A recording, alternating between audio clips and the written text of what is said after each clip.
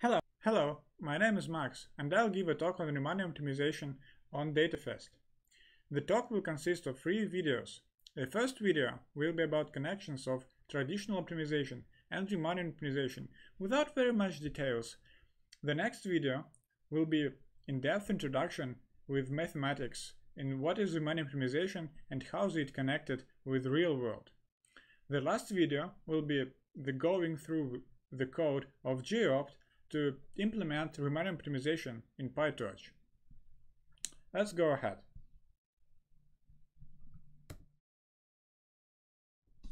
So, why do you need Riemann optimization and how you can use it in your in your work? And we all use optimizers like Adam, SGD, AdamW, AMSGrad, whatever, without proper understanding of how they're working. And of course, there are some papers that describe the details of the implementation and their open source libraries, but we don't really need to care about how it's working. And the same goes with Riemann optimization. You only need some uh, well-defined task where this Riemann optimization is applicable and without proper understanding of why is it working, you can use already implemented algorithms in open source libraries and there is no problem in doing that. If you don't want to listen to a lot of mathematics and want to just use the code to run your examples and improve your models, or maybe you're already familiar with Riemann optimization and that's wonderful, then you can go to GitHub repository GeoOpt that is an open source library on Riemann optimization and it offers you a lot of possibilities you can use uh, in PyTorch and build it in your favorite model or framework for running experiments. However, if you want some math, then welcome, we'll go ahead. So, when do we need Riemann optimization? Well, the first thing you might think is uh, the constraint problem. And what type of constraint is uh, actually useful to consider when we choose between uh, projective optimization or Riemannian optimization. For projective optimization, you can use whatever constraints, but for Riemann optimization, your constraint has should have some structure. And uh, in this case, the structure is uh, the smoothness of uh, the constraint. Like uh, on sphere, uh, have uh, the smooth surface, or it might be like some matrix, matrix manifold, and uh, you might want to relax the problem.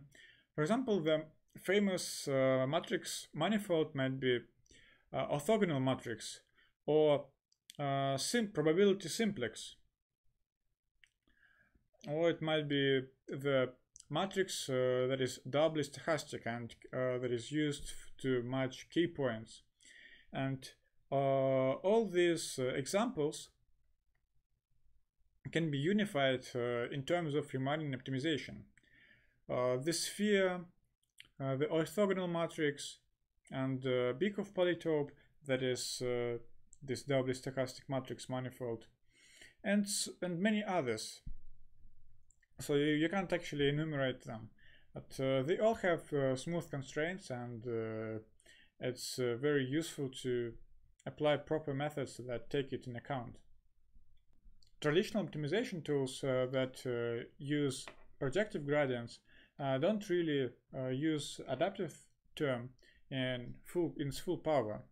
But when you use Riemann optimization and you have predefined structure, you can use these adaptive methods to their full power because you can compute this adaptive term uh, in closed form, uh, you know how to update it, and so on.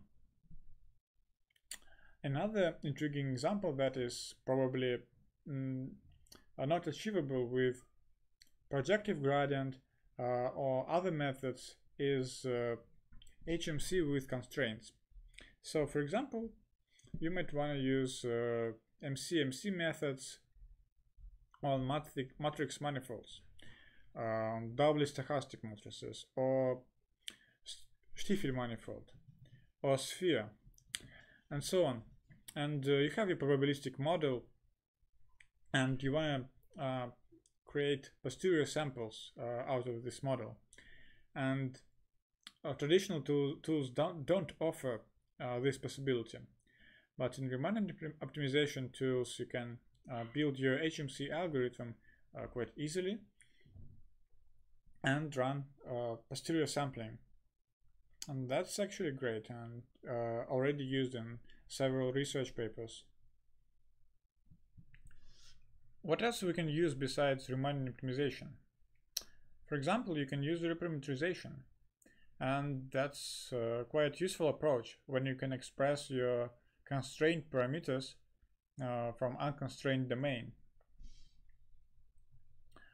Another thing is projection, like on the picture on the right, where you project the unnormalized vector to its normalized version.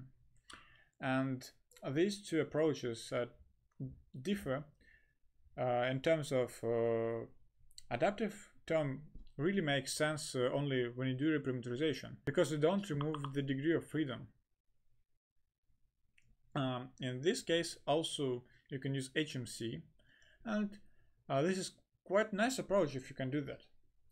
If you can't, and you use projection, then adaptive term doesn't really make sense because uh, uh, the degree of freedom is incorporated uh, in your adaptive term on unconstrained domain. And this projection may be hard to differentiate through like on Birkhoff Polytope, you run Sinkhorn iterations, and so on. So this is quite problematic. So let's look at uh, AMS-Grad in Rn. And AMS-Grad is a bit improved version of Adam, but it, on this example, we can really see everything that we need to consider when uh, building any algorithm that has adaptive terms, that has momentums and uh, other things. So let's start. Of course, we have a function that is differentiable and we assume that it's possible to compute its gradient. After the gradient, uh, we should take care of momentum. So we combine uh, gradients accumulated from previous iterations with this new gradient. Uh, in this case, it's uh, just exponential averaging. The next thing is adaptive term. And for adaptive term in Rn, we use uh, uh, second moment of uh, the gradient to scale gradients properly so they don't explode and uh, the most promising directions are uh, valued more. And the final gradient step. And that's all fine. Uh, but let's go to Riemannian optimization and uh, Riemannian version of AMS-Grad. Without going into details, it all looks very similar. We have the same uh, gradient, but in the case of in the second case it's Riemannian gradient. We'll talk about it later. Um, similarly, we should combine moments accumulated from previous iterations, but there will be a problem and you see it's the in the end we should take care of uh, momentum for a number of reasons. Adaptive terms are also computed similarly but now the adaptive term is dependent on the point you stand. And the optimization step. In this case exponential map is used. And exponential map is uh, similar to what is going on when we move the point towards the most promising direction, but we do it smoothly. After this walkthrough, there were some missing points we don't uh, talk in detail. For example, uh, how to work with gradients. Because gradient and the point, uh, it's very different. They are different creatures. Uh, something is direction, another is uh, location, and uh, how do we combine them? Why do we use summation or subtraction in Rn case. Uh, the next thing is the computations that depend on actual points. For example, the adaptive term is computed depending on the point we're standing on. And the reason why is it so is uh, vague, because in Rn we didn't really care, just computed second norm. Uh, the momentum, as we remember from Euclidean optimization, uh, we just uh, accumulate gradients, uh, do exponential averaging, and that's it. And in Riemann optimization, there was an additional operation to move uh, momentums to the next points and what, why is it for, uh, and so on. And the final update, uh, why can't we use summation or subtraction or whatever operation? Why do we need the additional function, exponential map? So these questions are uh, the core questions to do uh, research in uh, field of Riemann optimization and uh, have a better understanding of what's going on.